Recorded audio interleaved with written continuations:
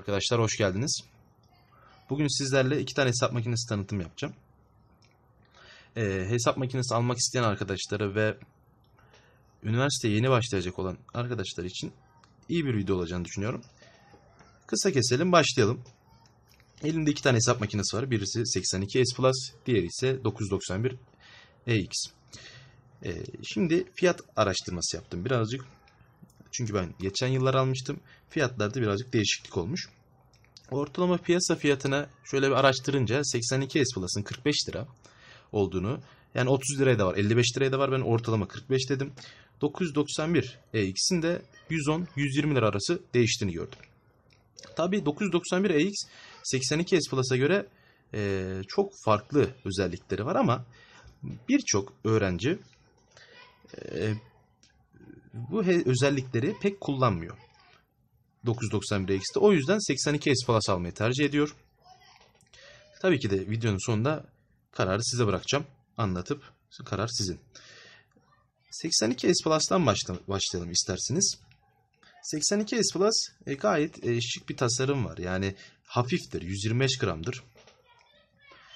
Ekranı 991X'e göre yani çok iyi değildir. Pikselleri görünür burada baya baya ama yine de şöyle ışık açılarında filan size çok sıkıntı çıkarmaz. O anlamda da iyidir ekranı. Neler yapabiliyor? 249 tane fonksiyon hesabı yapabiliyor arkadaşlar. Gayet iyi. Yani bir bakkal hesap makinesine göre muazzamdır. Bilimsel gösterim vardır. E, kesir hesabı yapabilir. Standart sapma hesabı yapabilir. Açı birim çevirmeleri yapabilir. Bunlar nelerdir? Grad, derece, radyan tarzı açıları çevirebiliyor. Trigonometrik hesaplar yapabiliyor. Gördüğünüz gibi logaritması var. Üstelleri var. Üstü sayılar. Ondan sonra mesela bu özellikler aslında iyidir arkadaşlar. Karakök hesabı.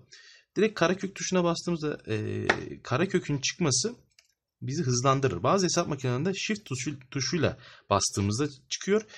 Ve aynı şekilde üstü sayılarda öyle. Yani shift'e basıp karakök oluyor. Bu da hız kaybı yapabilir. Bir de kafamız karışabilir bazı zamanlar. O yüzden direkt karekök tuşunun burada olması iyidir. iyi bir özelliktir. Direkt atıyorum 16 deyip ya pardon 16 deyip 4'ü buluruz. Ama yani e, diğerinde shift'e basıp 16 yazmamız gerekiyor. E bu da bazen büyük işlemlerde sıkıntı çıkarabilir. Neyse kısa geçelim bunu. Başka ne hesabı yapabilir? Mühendislik tuşu vardır. Hafızası vardır. Ders kitabı şeklinde yazabilir. Yani bu e, bir satır halinde yazabiliyor. Güzel oluyor. 991 X'te dediğim hepsi var. Her şey var. Zaten dikkat ederseniz ikisi de aynı marka.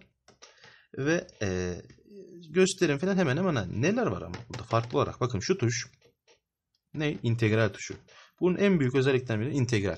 Yani yok işte bu güneş enerjisi var bunda falan değil arkadaşlar. Yani bu çok önemli şeyler değil güneş enerjisi. Zaten bir AAA pille çalışıyor. E, değişimi çok basit. Şuradan vida ile değiştirirsiniz. Hiç sıkıntısı yok. Her yerde bulunur ama bunun en büyük özellikleri integral. Ekranın LCD olması. Gayet güzel şık bir ekranı var. İstediğiniz kadar çevirin. Çok güzel görüntü alabiliyorsunuz. Işıklara falan çok şey yapmaz. Matris hesabı yapabilir. Ve 249 fonksiyon var demiştik. Bunda 552 fonksiyon var. Yani neredeyse iki kat. Fonksiyon var. Bunda diğer özelliklerden biri de çok güzel bir menüsünün olması. İşte burada hesap makinesi özelliği, karmaşık sayılar özelliği, matrixler. Ondan sonra şurada denklem çözebiliyoruz. Denklem çözebiliriz. Bakın hatta bir çözelim. Diyor ki işte kaç bilinmeyenli falan diye denklem çözme videomuz da var. İsterseniz izlersiniz. Yani muazzam özellikleri var. Çok güzeldir. Ee, başka ne var? Grafik çizebiliyor. Yani burada grafiği göstermiyor olabilir. Evet çünkü ekran gayet, gayet gerçekten küçük. Grafik çizen hesap makinelerine göre ama bir QR kod çıkarıyor. Ve bunu Casio Edu artı akıllı telefonunuzu indirirseniz oradan grafiği telefonunuza aktarıyor.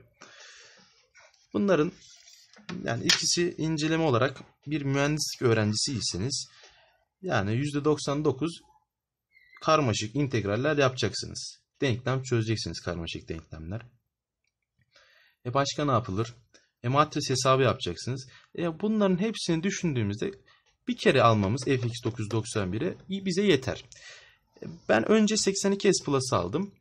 Yetmedi bir yerden sonra. 991'e X aldım. Yani boşuna almış gibi oldum. Ama bir ara geçiş olarak yani bu hesap makinesi direkt e, kullanmak zor gelirse size direkt 82 S Plus'tan da başlayabilirsiniz. Ama bir iktisat öğrencisi veya böyle daha az integralle denklem çözmeyle uğraşacak bir bölüm e, 82 S Plus alabilir. Yani standart sapmayı falan yapıyor zaten. İyi bir hesap makinesidir o da. Hafıza kayıtları var. E, 991 AX'in de hafıza kaydı var. On, e, 82 S Plus'ın da hafıza kaydı var. E, gayet bence iyi, iyi iki hesap makinesi bunlar. Ama tabii ki de benim tavsiyem birazcık daha paraya kıyıp 991 AX'in alınmasıdır. Ama o kadar para vermek istemiyorsa da 82 S Plus gayet işinizi görür arkadaşlar. Tabii bundan başka hesap makineleri de var. Ne var mesela? Canon'un hesap makineleri var. E, gidip bakabilirsiniz bütün hesap makinelerine. Ya benim tavsiyem karakök sembolü direkt basmalı olabil- olması. İşte üstü sayılar için seçeneklerin hızlı çıkması. Mesela 5 üzeri 4 diyeceğim. Hemen hızlıca bulabilmeliyiz. Yani hızlı ola, seri olacak hesap makinelerini tercih etmenizi öneririm. İki tane de kapağı var bunların. Kapağıyla da koruma yapabiliyorsunuz. Yani ekranı falan kırılmaya karşı. Ee, bu kadar arkadaşlar. Sorunuz olursa yorum kısmına yazarsınız. Cevaplayabilecek bilgim dahilindeyse cevaplamaya çalışırım. Herkese iyi çalışmalar diliyorum.